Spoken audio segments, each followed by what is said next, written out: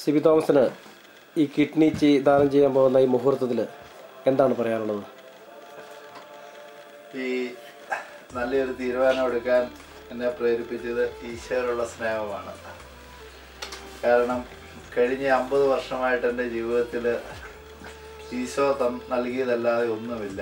എന്റെ ആരോഗ്യം എന്റെ സമ്പത്തല്ല മനുഷ്യന്റെ ജീവിതത്തിൽ ഒരു സ്റ്റേജ് കഴിഞ്ഞാൽ റിസീവ് ചെയ്യുന്നത് നിർത്തി തിരികെ കൊടുക്കണമെന്നാണ് എന്റെ ആത്മീയ ജീവിതത്തിൽ എനിക്ക് കിട്ടിയ ബോധ്യം.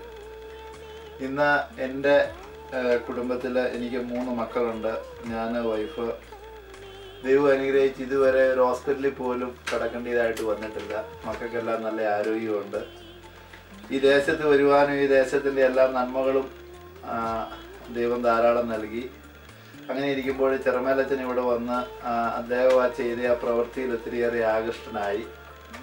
അന്നേരം എടുത്ത ഒരു തീരുമാനമാണ് ആർക്കെങ്കിലും ഒരു കിഡ്നി കൊടുക്കാൻ. അന്നേരം അച്ഛൻ പോയി രണ്ട് ദിവസം കഴിഞ്ഞപ്പോൾ ഇവിടെ ഓർട്ടിസ്റ്റിക് ഡോണറായിട്ട് രജിസ്റ്റർ ചെയ്തു. അങ്ങനെ പിന്നെ ജിമോൾ കോർഡിനേറ്റർ പറഞ്ഞാണ് ഈ കുഞ്ഞിന്റെ കാര്യങ്ങളൊക്കെ അറിഞ്ഞത്. അന്നേരം ഞാൻ ഏസ് മോളി. പിന്നെ ഒരു ദൈവനിശ്ചയം എന്ന പോലെ ക്രോസ് മാച്ചിങ് എല്ലാം നടത്തിയപ്പോൾ ക്രോസ് മാച്ചിങ് നെഗറ്റീവായി നെഗറ്റീവ് ആവുക എന്ന് പറഞ്ഞാൽ എന്റെ കിഡ്നി ബോഡി റിജക്റ്റ് ചെയ്യലെന്നാണ് അങ്ങനെയാണ് ആ ടൈം ഉപയോഗിക്കുന്നത്. അപ്പോൾ ഇതെല്ലാം ഒരു ദൈവത്തിന്റെ ഒരു ഹിതമാണ്. പിന്നെ അടിസ്ഥാനപരമായിട്ട് ഈശ്വരുള്ള ഒരു സ്നേഹം അത് മാത്രമാണ്.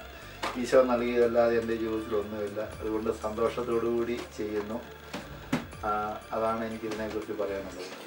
യു കെ മലയാളികൾക്കിടയിൽ ആദ്യമായിട്ടാണ് ഒരു മലയാളി ഒരു കിഡ്നി ദാനവുമായിട്ട് മുന്നോട്ട് നീങ്ങുന്നത് ചെറുമലച്ചൻ സന്ദർലാൻഡിൽ വരികയും മലയാളി അസോസിയേഷൻ അതിന് നേതൃത്വം കൊടുക്കുകയും അങ്ങനെ ഒരു ചടങ്ങ് ഇവിടെ സംഘടിപ്പിക്കുകയും ചെയ്തിട്ടുണ്ട്. ചെറുമലച്ചനാണോ താങ്കൾക്ക് പ്രചോദനം? തീർച്ചയായിട്ടും ചെറുമേലച്ചൻ എന്ന് പറഞ്ഞ ഒരു വ്യക്തി ഇവിടെ വന്നില്ലായിരുന്നതിൽ ഇങ്ങനെയൊരു ഒരു കാര്യത്തെക്കുറിച്ച് ഞാൻ അറിയാൻ ഒരിക്കലും ഇടയാകുകയില്ലായിരുന്നു. കിഡ്നി ഡൊണേഷനെ കുറിച്ചൊക്കെ കേട്ടിട്ടുണ്ട്.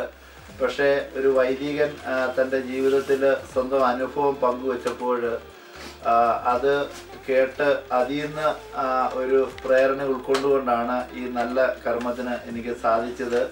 അത് അച്ഛന്റെ ആ ഒരു ത്യാഗപ്രവൃത്തിയും അതുപോലെ ഇവിടെ വരാനും അച്ഛനിലൂടെ ചെയ്ത ആ നന്മ മാത്രമാണ് ഇതിന്റെ പിന്നിൽ പ്രവർത്തിച്ചതെന്ന് എനിക്ക് എവിടെയും സന്തോഷത്തോടു കൂടി പറയാനായിട്ട് സാധിക്കും. അത് അച്ഛന്റെ മോട്ടിവേഷൻ മാത്രമാണ് ഇതിന്റെ പുറകിലുള്ള ഒരു കാരണം. പിന്നെ നമുക്കറിയാം ഇതിന്റെ പുറകിലെല്ലാം ദൈവത്തിന്റെ ഒരു ഒരു അനുഗ്രഹം അല്ലെങ്കിൽ ദൈവം കൃപയാലാണ് ഇതെല്ലാം എനിക്ക് നൽകിയത്. അത് മാത്രമാണ് അല്ലാതെ വേറൊന്നുമല്ല. ഈ ഓപ്പറേഷന് പോകുന്നതിന് മുൻപായിട്ട് എന്തെങ്കിലും ഭയമോ ഭീതിയോ എന്തെങ്കിലും തോന്നുന്നുണ്ടോ? അങ്ങനെ എന്തെങ്കിലും ആശങ്കയോ എന്തെങ്കിലും ഒരു സ്നേഹത്തിൽ സ്നേഹത്തിൽ ഭയമില്ല എന്ന്. കാരണം ഞാൻ ഇന്ന് ഇത് ചെയ്യുമ്പോൾ എനിക്കൊന്നും ഭയത്തിന്റെ യാതൊരു ഭയത്തിന്റെ കാര്യമില്ല. കാരണം ഞാൻ ഒത്തിരിയേറെ മെഡിക്കൽ പ്രൊഫഷണൽസുമായിട്ട് ഇതിനെക്കുറിച്ച് ഡിസ്കസ് ചെയ്തു. അതുപോലെ ഒത്തിരിയേറെ ഇതിനെക്കുറിച്ച് സ്റ്റഡി ചെയ്തു. കിഡ്നി ഡൊണേറ്റ് ചെയ്തതിന്റെ പേരിൽ ആർക്കെങ്കിലും ജീവിതത്തിൽ എന്തെങ്കിലും സംഭവിച്ചതായിട്ട് ഒരിടത്തും ഞാൻ കേട്ടിട്ടില്ല.